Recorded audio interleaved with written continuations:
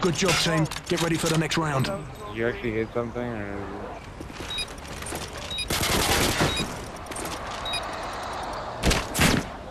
Oh, that's good. Overtime.